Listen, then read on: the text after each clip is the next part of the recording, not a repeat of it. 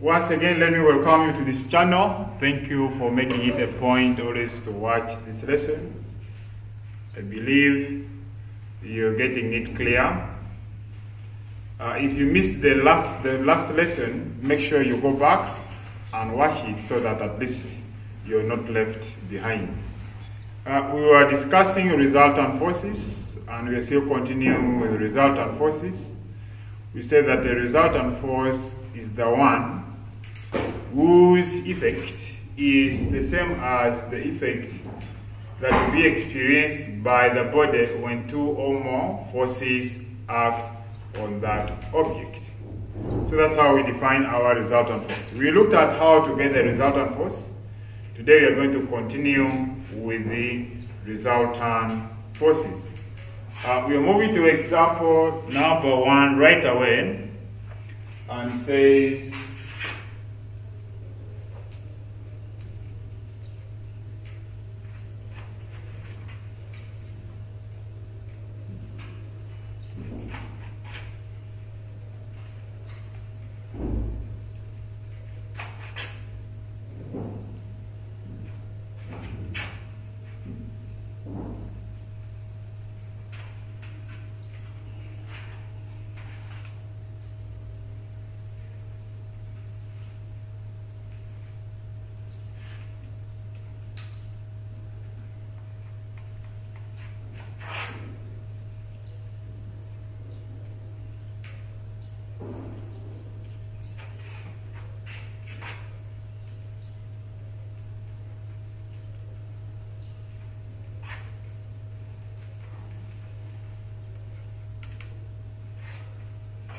So the question is right up here.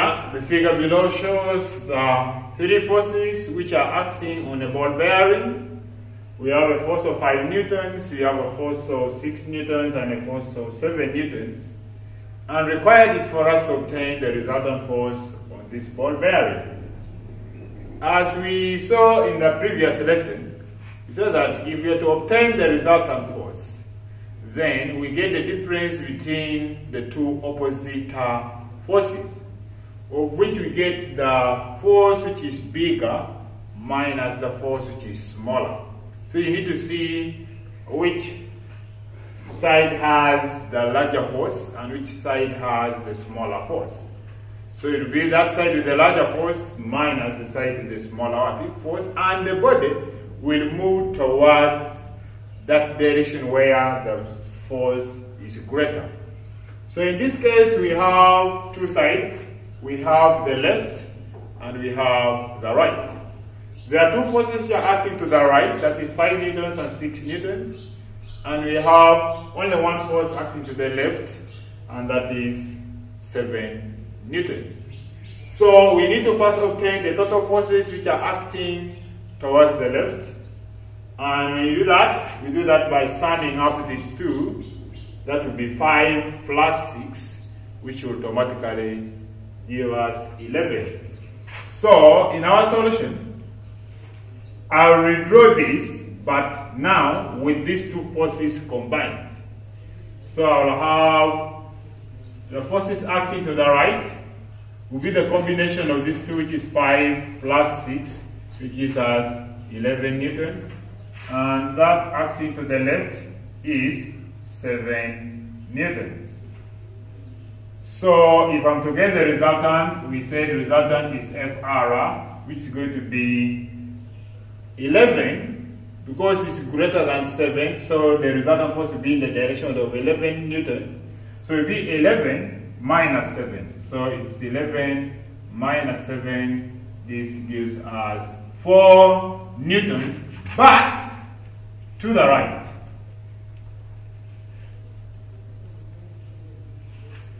So that will be the resultant force on that uh, body. But let's see e.g. number two, especially where we have forces acting at right angle.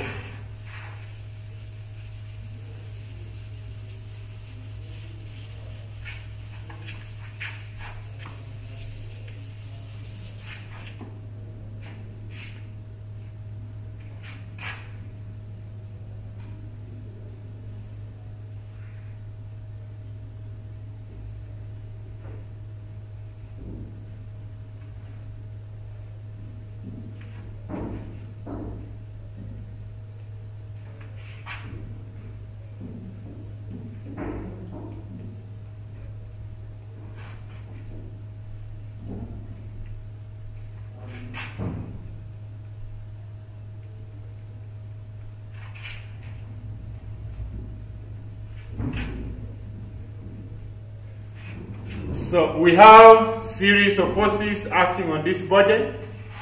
We have 12 newtons which is acting to the right. We have 7 newtons is acting to the left. We have 9 newtons acting upward. Uh, we have 13 together with 8 newtons which are acting downward. So they want us to get the resultant force. If we are to get the resultant force in our solution, the resultant force on this object, then we need to first get the resultant force horizontally, then we get the resultant force vertically. So horizontally, we see two forces acting in opposite direction, that is 12 newtons and 7 newtons. So 12 newtons is acting to the left, I mean to the right, and uh, 7 newtons is acting to the left. So the resultant force is going to act to the right. Why? Because 7 newtons, I mean 12 newtons is greater than 7 newtons. So I'll draw this, I say to the right. To my right, I'll have 12 newtons minus 7 newtons. Or let me redraw this. I can redraw this, this is 12 newtons. Then this one, I can bring it here. The 7 newtons, because it's acting to the right, to the left, I can bring it here. This is 7 newtons. Then up here, I have 9 newtons. Then down, you can see down we have two forces. We have 13 and 8. That gives us 21 newtons. When you add them, 13 plus 8, that's 21. So from here, we can now get exactly uh, the resultant force. So if this is my body, you can easily see that uh, 12 newtons is greater than 7 newtons horizontally, and so the resultant force will act to the right. By which amount? 12 minus 7. So 12 minus 7 to the right is going to be 12 minus 7, that is 5 newtons. Then, when it comes to this, you see there's 21 newtons acting downwards, and we have 19, 9, 9 newtons acting upwards. 21 being greater than 9, that means the resultant force will act downwards. So the resultant force is acting downwards, and it's 21 minus 9, which gives us 12 newtons. Good. So we have now 5 newtons and 12 newtons, which are acting at right angle to each other. 5 newtons and 12 newtons are acting at right angle to each other. And we say if we have two forces which are acting at right angle to each other, then the resultant force is caught by obtaining the using Pythagoras theorem. So the resultant force is here. You can call this to be our resultant force. F what? F R. So I call this one to be A, this one to be B, and this one to be C. So we use Pythagoras theorem. We say from A squared plus B squared equals to C squared. So A squared is going to be 5, this 5. So we shall have 5 squared plus c b squared, which is going to be 12. 12 squared should be equal to c squared, which is f resultant squared. So this is 25. This is plus uh, 144, should be equal to f r squared. 25 plus 144, that is 169, should be equal to f r squared. So you take the square root on both sides.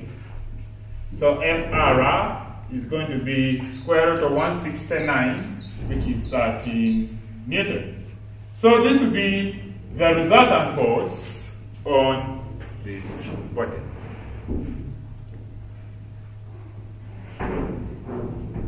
If there's any question, please make sure you tap on the live chat. You let me know so that at least I can respond immediately if you have any question on this. And today we are winding up on forces. That means in our next lesson we shall see something else. Is there any question on that?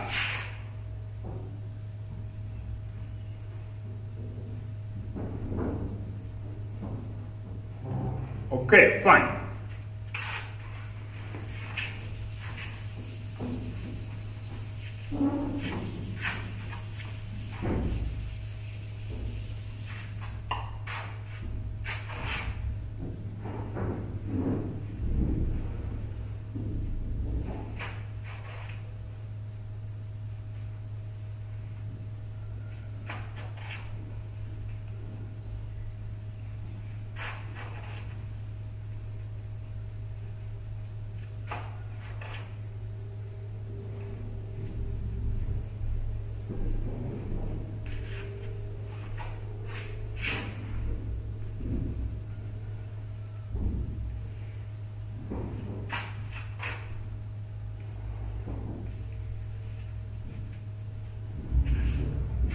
So we have this question in statement form.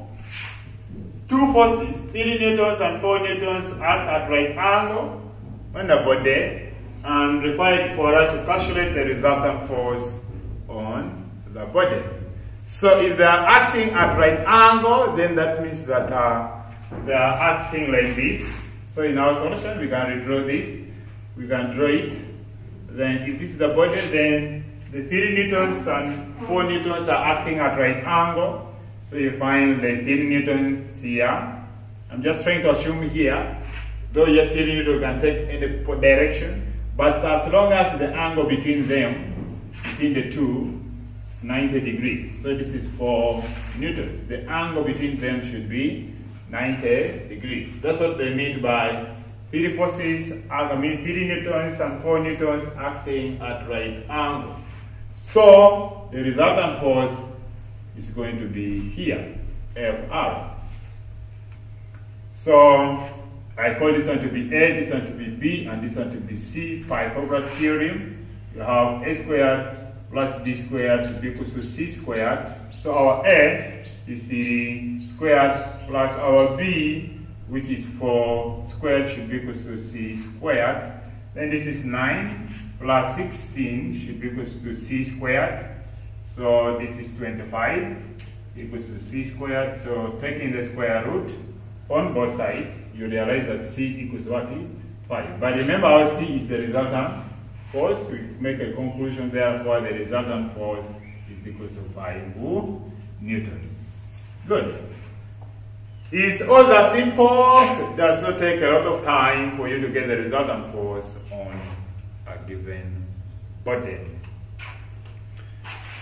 I see this in case of any question, please feel free to contact to get into our chat and then you type it there so that at least we get to know what's taking place. Otherwise, uh,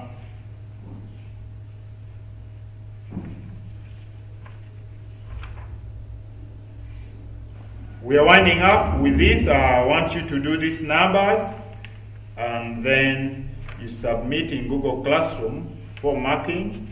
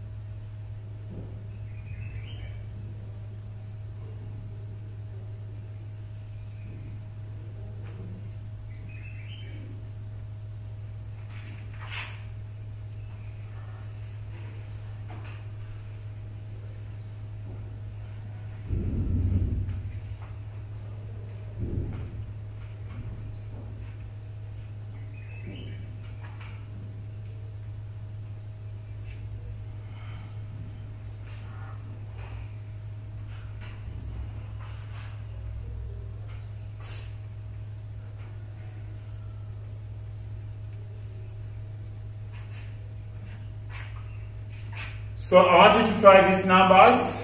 Try these numbers and then you see whether you can easily pass them. That will give us a go ahead for the next lesson. In our next lesson, we are going to leave resultant forces. We are going to go to something else, and that is frictional force. Please endeavor not to miss and don't go for frictional force when you have not done these numbers. Thank you so much once again for watching for following the lesson. If you have not subscribed, please tap the red button and subscribe so that you can get notifications for more videos. Otherwise, I wish you all the best during the course of the lesson. I've told you in case of any challenge, tap on the live chat. You'll be talking to me directly or you can contact me on my WhatsApp number which is 070 375 0387 plus 256 70 375 0387. For those who are not out of Uganda, you can use that code and you'll be talking to me directly. So that's that uh, for now. We are ending our lesson. Wish you all the best and goodbye for now. See you.